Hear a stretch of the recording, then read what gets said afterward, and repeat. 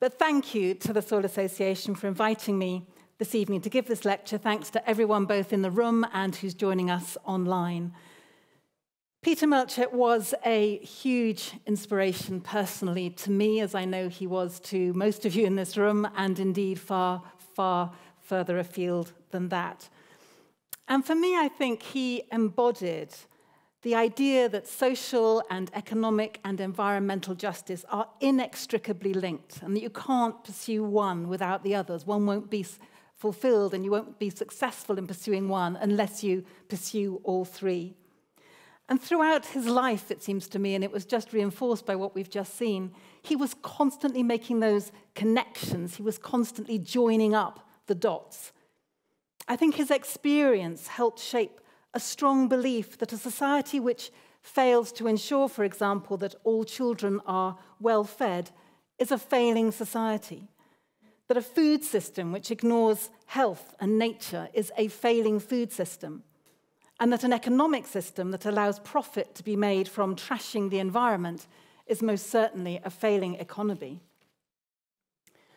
And my experience uh, in the time that I've been in the UK Parliament has, I think, taught me that inadequate action by successive governments to right these wrongs isn't a consequence of insufficient grasp of the facts. You know, it isn't that they don't understand what needs to be done or that they don't understand the challenges that we face. Rather, I'd argue, I think it's a question of power. It's a question of who has that power, how we get that power back, and thus it's a question of politics. And as I don't need to tell you here tonight, this whole agenda is just so urgent. Without needing to read the recent authoritative report, The State of Nature, Peter would have been all too aware of the continuing decline in huge numbers of species would have known about the poor state of so many habitats in the UK, especially those under agricultural management. But you know, I suspect even he would have been shocked at the sheer scale of the loss that we're facing right now. Because according to that report, 1,500 species are at risk in Great Britain and a further 281 in Northern Ireland, amongst them 43 bird species that were once abundant in our countryside. As farming has grown more dependent on agrochemicals, the distribution of invertebrates beneficial to crop production has shrunk.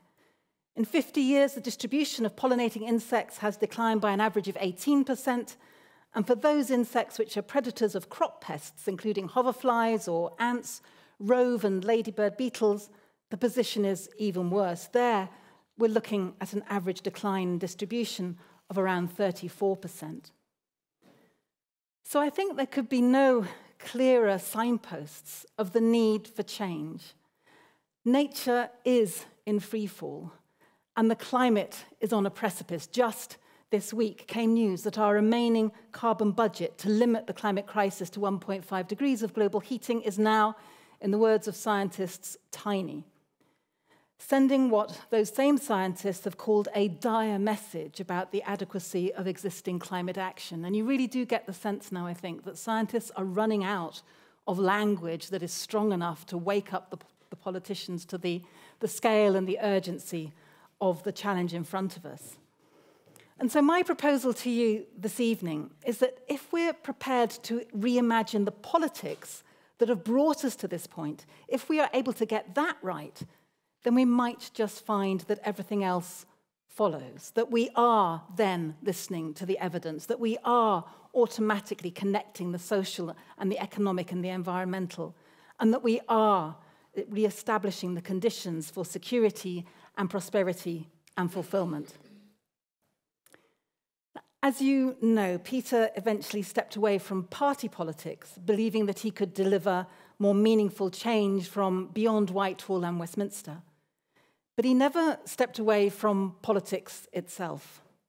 Campaigning for Greenpeace or indeed for the Soil Association, I think for him was simply another way to use public opinion to get politicians, both within government and without, to listen to a wider range of voices than just their own members. He understood that the state of Britain's politics and the state of Britain's environment were bound tightly together. And frankly, I think if he were here with us tonight, he would be pretty dismayed by both. But he knew that you can't have a good environment without effective politics. He knew that the businesses that we need for prosperity can only do their part in delivering a high quality environment for all of us if government creates a strong and consistent policy framework within which those businesses can act. I think we sometimes forget that there are two bits, two parts of government the administrative bit and the political bit. And I think Peter would have understood that the current collapse in environmental quality in Britain is pretty much a failure of the political part. And he would have detested, as do I, the habit of conservative politicians in this government of blaming civil service, uh, blaming judges, basically blaming anybody except themselves for its inability to deliver on its repeated promise to leave Britain a better environment than it inherited. And I do wonder if there's anyone here tonight who genuinely thinks that that promise will be fulfilled. For the benefit of those online, there are no hands going up at this, at this point. But he would also have known that a lot of this failure is down to the malign influence of a few divisive politicians and their editorial amplifiers who believe that government itself is the enemy and that we need an awful lot less of it. So I think it is fitting, and I hope it is, that the focus of this lecture tonight is not on policy, with which we are amply blessed, but instead on a reimagining of the pol politics itself, of the political process, so that it's fit to deliver the transformation that this critical moment demands. And I want to explore three ways in which changing politics for the better will change our shared future for the better as well. First, by looking a little bit more about the relationships between power and democracy and politics. Second, by rewriting the political script, and by that I mean integrating long term thinking and joined up thinking into the way in which politics is done. And third, by rewiring our political system so that it asks the big questions and doesn't shy away from them. So, to the first of these power, democracy, and politics. And I thought it might be helpful to look at this through the lens of, of our waterways. Because we can't credibly discuss reimagining politics in our times without reflecting on how we came to be standing on the edge of an ecological precipice and if we needed any evidence of that being the case, then looking at our rivers and our waterways is a pretty good place to start. Because the shocking fact is, as you will know, not a single river in the United Kingdom is free from pollution, a chemical cocktail of sewage and agricultural waste and plastic. None are technically safe to swim in, and only 14% of them reach an acceptable ecological standard. And as we're all discovering, this is a scandalous example of successive ministers and regulators neglecting their responsibilities for years and years, giving away or simply, I don't know, forgetting that they have powers to use were they to choose to do so. Because we know both Ofwat and the Environment Agency have been absent on duty. Ofwat seems to have forgotten that the water company's license requires them not to pay a dividend if it would impair their ability to invest. Well, there's certainly been a failure to invest, but no failure to pay those dividends, a tidy 1.4 billion pounds last year. You know, didn't they notice this? The Environment Agency has enforcement powers which could have compelled the water companies to invest. Yet, even just today, we learn that water use um, uh, inspections have been slashed by almost half in the last five years. So, what were they doing? Well, the CEOs and boards of these public regulators are appointed by ministers. And if they fail in their duties, it is well within the power of ministers to find talented and experienced people who will replace them. Peter would have well understood that their failure to do so was no accident. Because, you know, if a government doesn't want to do what's needed to solve a problem, it's probably better that it fails to discover that there's a problem there in the first place. I don't mean to sound cynical, but the pattern of massive underinvestment and the stealthy weakening of the effectiveness of our institutions that are designed to protect the environment seems, to me at least, not to be happening by chance. Whilst companies like Thames Water and in my own region, Southern Water, have been fined record amounts for dumping sewage in our waterway, waterways, they appear to have made a short term calculation that it's more effective to pay up than to meet the infrastructure and operational costs of upgrading our Victorian age sewage systems. And as I say, this hasn't happened by accident. Our politics has enabled this to happen, transferring power from the state acting in our common interest, in this case to corporations acting for shareholders. And the state of our rivers and water supply are just the tip of the iceberg. And in his book, The Plunder of the Commons, the economist Professor Guy Standing details how huge swathes of our commons have been sold by governments to private entities without any kind of democratic process, without compensation, certainly, and without our permission. And that issue of permission, I think, matters because it speaks to where power should lie if our politics were working better, and that is with citizens, not with corporations. Creating a better balance relies on a functioning democracy, and I think Peter would have been as alarmed as I am by the decline in public confidence in democracy, not just elsewhere in the world, but right here at home.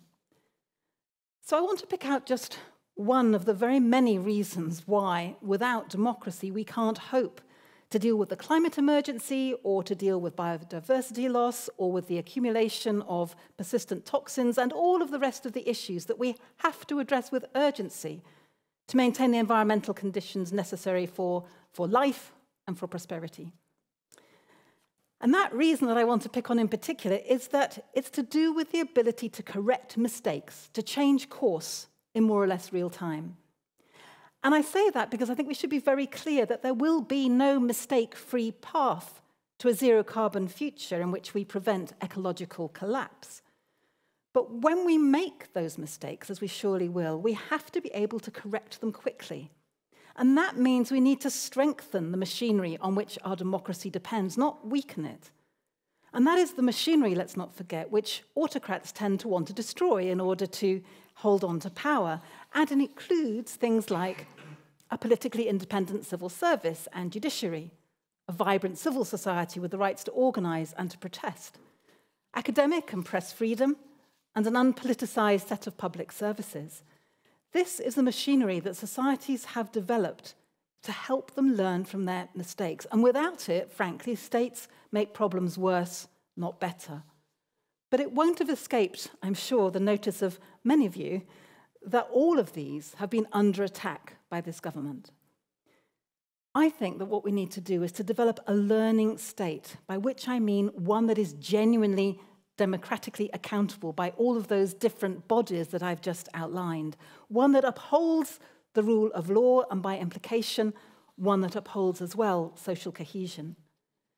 And I am quite sure that Peter would have shared my anxiety at the arrival of a British government no less a conservative British government that is so very casual about its commitment to the rule of law. So, talking further about democracy, I, I, would be the first to accept that democratic solutions to any problem are often untidy, they are often incomplete, they are often messy, and they rarely please everyone. But there are tools that we could be using that I think would improve our experience of that democratic process. And one of those would be citizens' assemblies, because they have proven time and again that participative democracy is a vital way of bringing people together and of reaching agreement. Because we know that a transition to a livable future is not something that should be done to people, it's something that should be done with people. And only then can we hope to have a genuinely just transition. And we've got wonderful evidence of these citizens' assemblies in practice. Initiatives like the Climate Assembly UK shows that people have a huge appetite to be part of identifying and agreeing positive solutions. And I note that Assembly members time and again come up with ideas far bolder than any government, such as free bus travel or a frequent flyer levy, whereby the more times you fly, the more it's going to cost you, or advertising bans on high emission products. You know, we're often told that people won't get on board with bold policies. But it turns out that when people are given objective information, when they're given the time and the space to deliberate and to discuss and to consider, nothing could be further from the truth.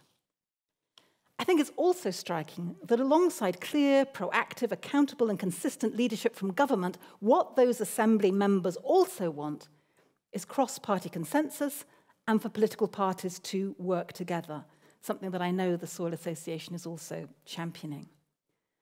A better politics for these times also demands a better voting system, a properly proportionate one. And I want to assure you that this isn't just special pleading from a small political party, which would benefit vastly were such a thing to come to pass. But it's also the case, and the evidence shows this, that fairer voting systems renew trust. They give people greater agency. They deliver governments that are more inclined to collaboration. They also increase turnout. They increase engagement, including, crucially, by young people who, like the rest of us, want their votes to count. Now, we know there will be a pivotal election here in Britain within 12 months. And there are many ways in which we can all continue Peter's work and honour his memory, and many of you are doing exactly that here tonight. But I think one of the best ways of all that we can pay tribute to his life of campaigning for the environment is to vote for what you believe in when it comes to that next election. Naturally, I would love it if you all voted for my party, but frankly, it is far more important that you actually get out to vote and we send out that message, particularly to young people, that young people get out to vote and can believe in that political system and believe that they can effect change.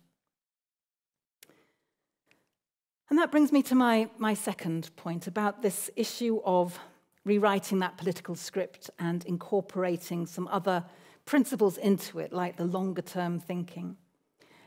In this most critical of climate and nature decades, we know that every and any delay creates dangers. We're all also aware, I think, of the pressures that regular election cycles place on decision makers to pursue policies that show benefits quickly and the difficulty that that can add to addressing longer term challenges. Yet the unraveling of the political consensus on climate change by this government is, I think, the worst example I can recall of a British political party and government sacrificing our national interest for perceived electoral advantage.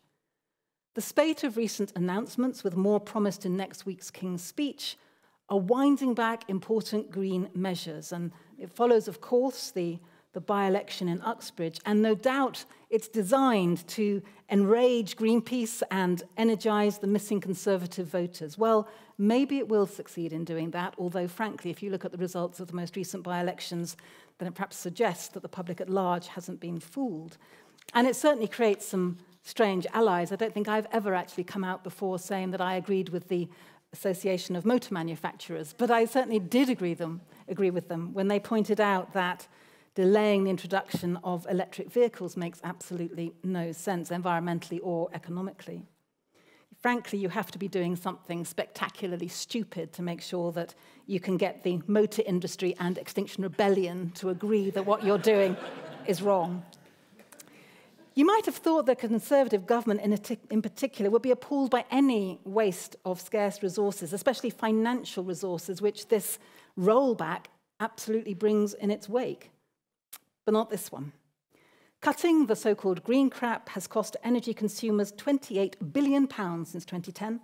That is over £2 billion a year every single year.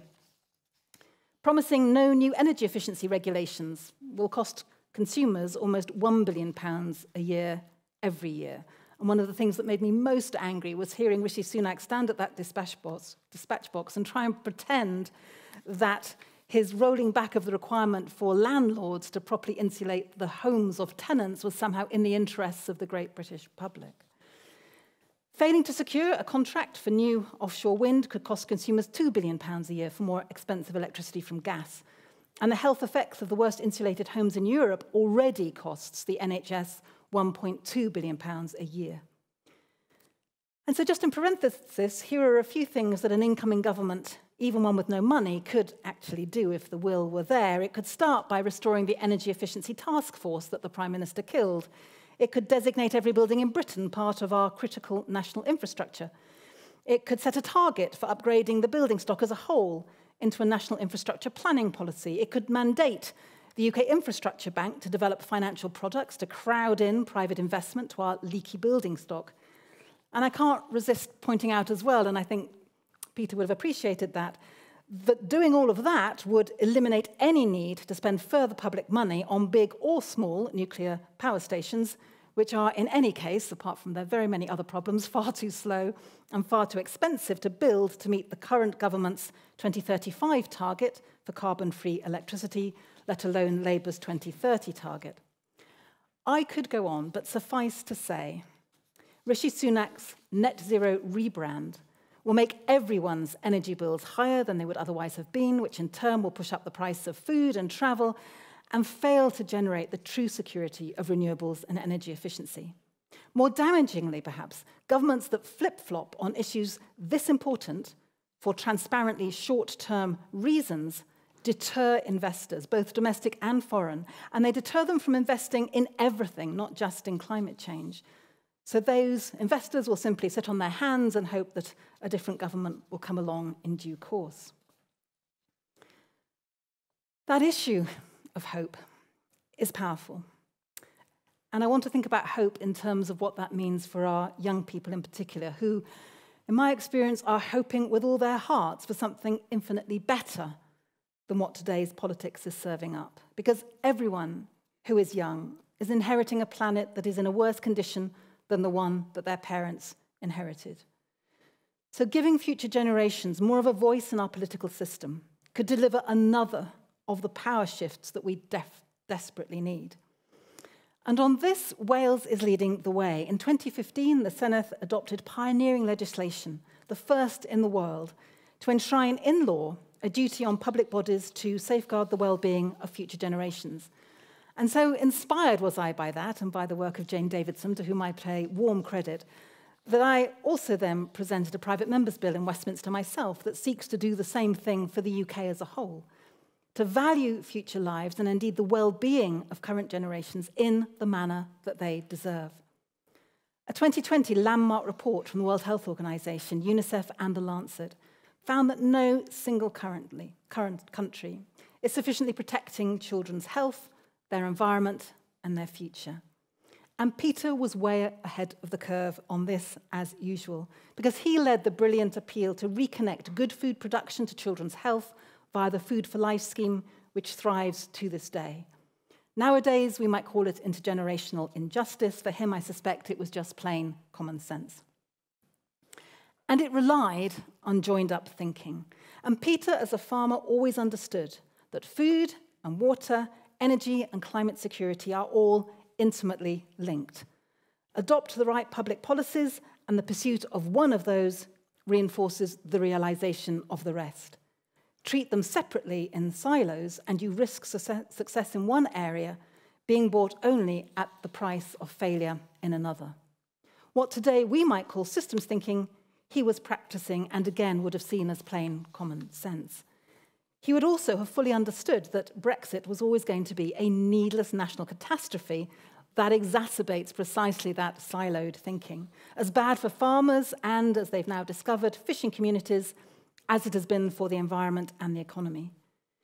He might not have been surprised by the failure of this government to plan for the consequences of Brexit for food and agriculture, but like the rest of us, I think he would never have imagined that seven years after gaining exactly what they wished for, this government still has no clear plan for managing the consequences of Brexit. Brexit has been an unpleasant shock to every purse in Britain, and the Ukraine war added another shock to food prices. And we can count on there being many more shocks to come in the intensifying fires and floods and droughts of a changing climate, and as those hit food production all across the world. So, a new vision of joined up politics must change the script and go beyond treating agriculture and food and health and nature as if they were all essential but separate areas of policy. Our future food security and its resilience to local and global price shocks needs to be long term, it needs to be holistic if it is to protect producers and consumers alike.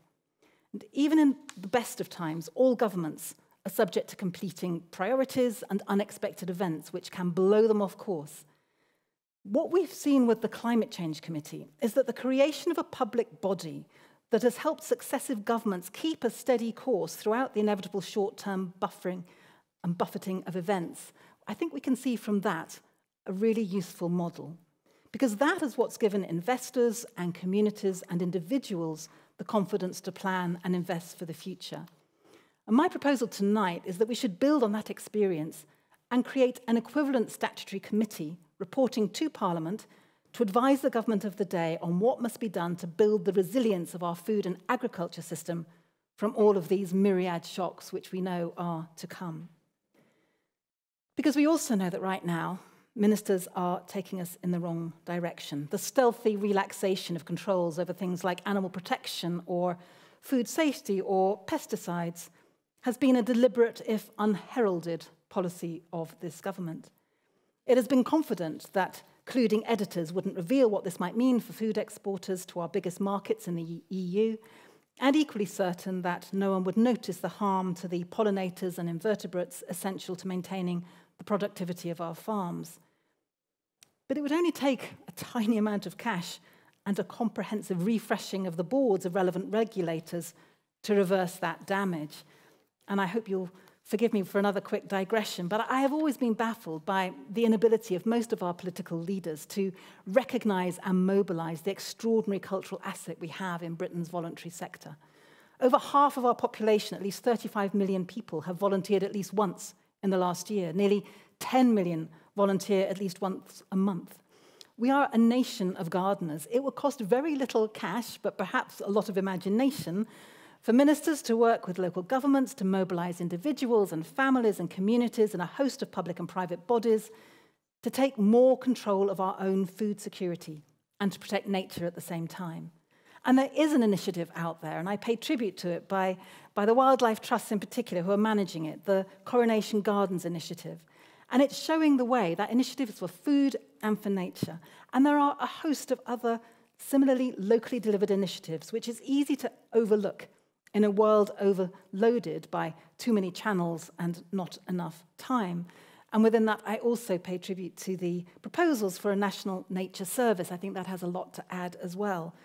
But if you take all of those together, I think you understand that tackling the connected problems of climate and food security can't succeed if central government doesn't notice, doesn't engage with, and doesn't reinforce this upswelling of local efforts which have been made possible by today's technology and by today's information flow and connectivity.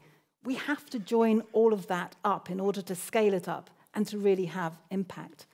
And changes like that would help write a different political story and reflect the interconnectedness of social, environmental, and economic justice, further changing the balance of power between citizens and corporations.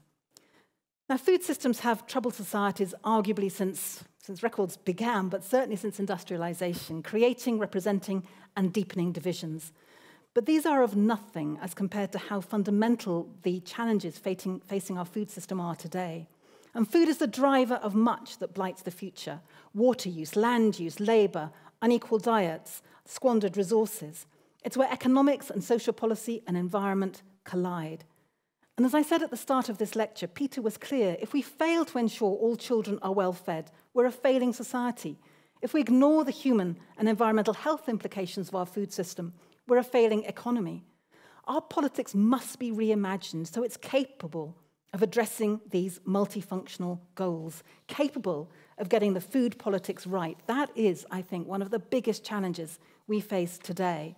And one of the things I am sure that Peter would cheer us on to do will be to carry on building those broad alliances, animal welfare alongside farmers, alongside health advocacy, alongside environmental enhancement, alongside consumers, alongside decent jobs. And civil society has a really important role to help bridge single issue discourses. And the challenge to civil society, I think, is that it needs to be dug out of its own sectional trenches where it can often be quite comfortable to retreat.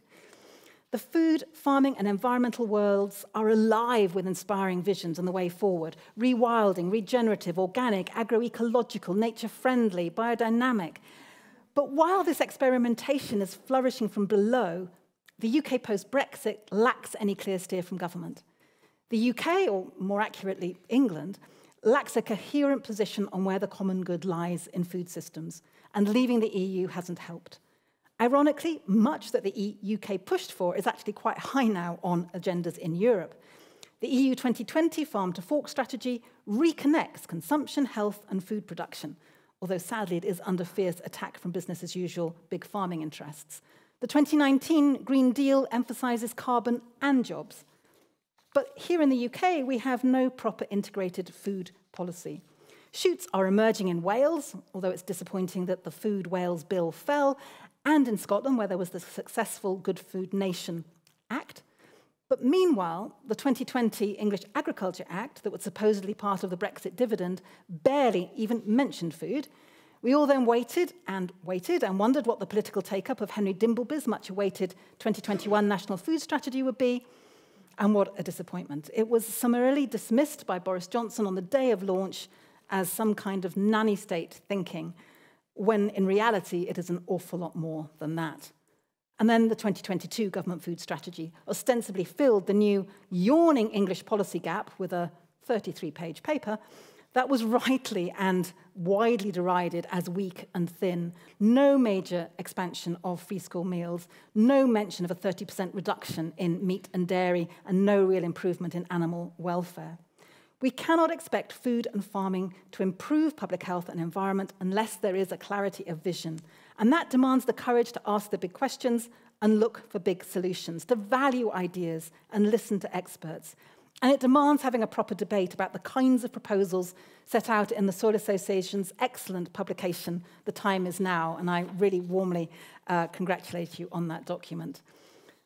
The same problems I've talked about already tonight are preventing this from happening. Too much power in the hands of those for whom the only thing that matters is making money, not enough power in the hands of those who will be directly affected today and tomorrow, and indeed for many tomorrows to come. A government dismantling the democratic apparatus standing in its way, the short term mindset, the silo mentality, they've all contributed to the creation of this policy vacuum that urgently needs to be filled. And that brings me to my third and final question. In other words, this question about how do we develop a political system that's designed to ask and debate and answer the big questions. And whilst I know that I opened this lecture saying that policy wouldn't be my focus, we land here now because it's not just a valuable outcome of getting the politics right for this age of environmental breakdown, it is a vital one. The crucial challenge when it comes to food for the next government is not only the best use of carrots and sticks, but also the bigger framework of sustainable food systems, the strategic links between consumption and production, and achieving a sense of direction and confidence that's currently lacking. A new compact between farmers, other food producers, and society hasn't been put in place since Brexit, but the need for it couldn't be clearer. In order to realign with the issues of the coming decade, the journey towards net zero emissions, healthier and more sustainable diets, more affordable diets, and the questions we must ask and debate are not contained within national boundaries, of course. Trade policies need to support environmental standards and viable farm businesses in the UK. Yet this government has persisted in pursuing trade deals with countries like Australia, for example, with scant regard for interests of farmers or the environment, sidelining DEFRA in the process, as was openly admitted by the former Secretary of State George Eustice. And furthermore, trade policy continues to be conducted behind closed doors with a disregard for transparency and insultingly little access for any kind of stakeholders. So, Peter's own experience was rich. He knew that what we need is a combination of inside and outside tracks if we're to get change. That we needed all kinds of voices around the table if we're to be able to develop the new robust laws which provide clear frameworks for good practice steering us on land use, on food use, on good trading relations within supply chains, not just between nations. And we need an environment in which those ideas flourish, where farmers and growers are really listened to alongside the environmentalists, alongside the young people worried by the lack of jobs in their rural communities, worried about the price of housing, alongside the families who are using food banks, alongside everyone with a stake in a food system that works. And that pretty much means everyone. An environment where we don't play political football with questions like taxing meat or solar farms and house building, but grapple with and interrogate them. The politics of sustainability isn't just about what we do, it's about how we do it. It demands curious, smart, and open minds, sadly, too rare in today's politics. There's no silver bullet that will make that happen, but alongside the other challenges I've outlined, I think there's a strong case for less tribal politics. As the lone Green MP, I have had little choice, but to work across party on everything from voting reform to Brexit to women's rights. And it has underscored for me what I have always held to be true that no one political party has a monopoly on wisdom. If politics is to rise to the unparalleled challenges we're facing, it must change so that we successfully secure the best policies to safeguard our future.